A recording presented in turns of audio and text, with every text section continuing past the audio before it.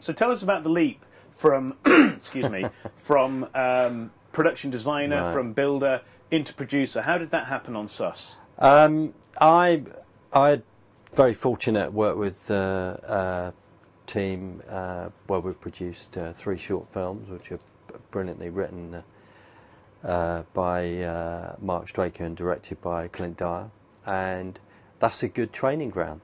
That's a brilliant training ground. So on. Um, And on- these these were ambitious films, sh- short films, shot on 35 mil at times. They, yeah, they weren't, yeah, you know. Yeah, the second one was we won an award at uh, the Very Short Movie Festival in Los Angeles, and yeah, they were and they are. Um, and uh, with Sus, you know, it was fantastic that uh, Clint and, and Rob Heath and uh, and Jono then and got together and had this discussion to say, right, we can turn you know this fantastic play by Barrie Keeffe into a film. So I then came on board. Um, I I've always had those ambitions. I mean, fortunately, I also teach or have taught, as as as you know, and and viewing film as a project from a project management point of view. You're managing a particular project. You're managing so many different departments. Right. So it's been a slow um, thing that's evol- been evolving for me. And also, I think if you have an understanding of how all the different uh, departments work, it makes you a far better manager. Right. You know, I have that advantage of my wife is a makeup artist. Yeah. I have an inkling there. So, so what you're saying is, on a low budget, one of the key skills is the ability to just take your resources and manage it and make it worth work, and not just kind of go off on flights. No, and, and the other thing is, is that you have got to lead from the front and muck in. You know, I've grit. You've just got to get going and just do it and, and be and be available. You know, and if it means that you from your heady heights, everyone thinks you know producer, you know, up there, rubbish. Make the tea, get the broom out, and sweep the floor. First know. on set, last to go home. Yeah, Yeah. yeah. So you mentioned earlier Barrie Keeffe. Now Barrie Keeffe wrote The Long Good Friday. Absolutely. How on earth did you get him? Um, Clint and uh, Rob Heath know Barrie, and uh, Clint was in uh, Barrie Keeffe's play, Obsess, at the Young Vic last summer. So the discussion came about. So it's it's a play turned into a, a movie. Yeah, yeah. So all the hard work, all the all the stuff that is usually a problem for a, an independent producer, like creating your first script, Hmm. it's all done. Yes, and then uh, I mean the play's been out there for thirty years and is extremely, extremely well known. Um, but there is a challenge, even though it seems that there seems to be an in thing about taking plays right now and putting them into film.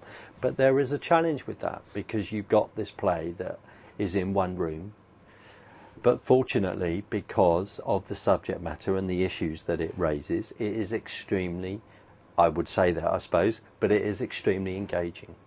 And that's why, for 30 years, uh, extremely engaging on celluloid and has been extremely engaging in the theatre and has been for 30 years and is extremely proven. Right. Okay. So, um,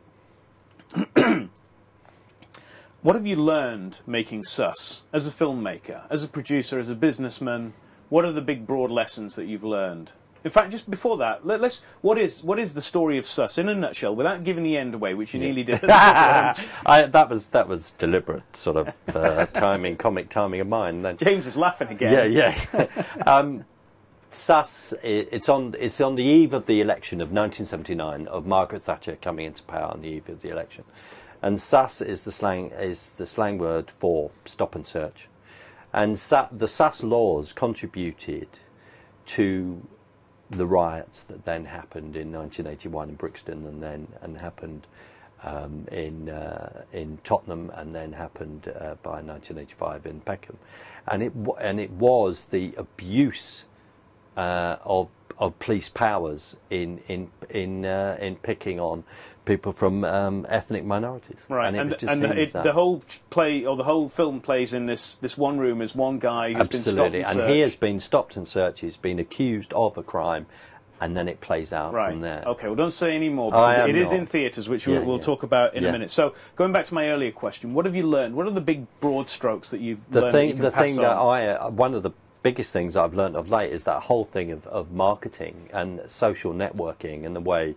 you know, Facebook, etc., etc., texting people, getting people to go to the Because cinema. that, it is it is extraordinary, isn't it? Because there is this hmm. perception that, and I know I've been through this on, on. Yeah, all of the films yeah. that your film is going in the cinema. That means 10 million people must be going to see it. Right. And in actual fact, you almost fight for every Absolutely, single ticket absolutely, sold. absolutely. And, and and when they do the calculations on the Sunday night about which films are Yeah, going to ha- stay yeah, over, yeah. it really comes down to.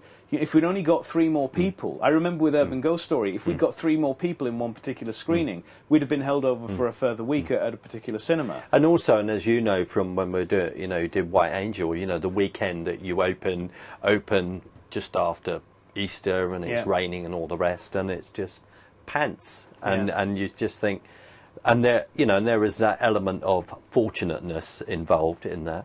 But that is definitely one thing that I have learned, which is, as you talk about, which is cracking the nut, which is making sure that people will go at a particular Yeah. time. cracking the house nut, The which house is the, nut, yeah. which is that, that, that kind of algorithm Yeah, that calculates that if you hit that certain number, you start to get a really great revenue from the box office. And I think you know that is one thing I have learned. I've also learned you know the whole thing of deliverables and what you've got got to get together, um, and and also do, just doing things like this, pal. You know you've got to get on that PR machine Yeah. and get out there and talk about your particular product. Mm. After I have been on on mm. someone's roof all day putting. Four skylights in, but that but that puts thing that puts life in perspective, and that Yeah. is what is really really important Yeah. you know, as well.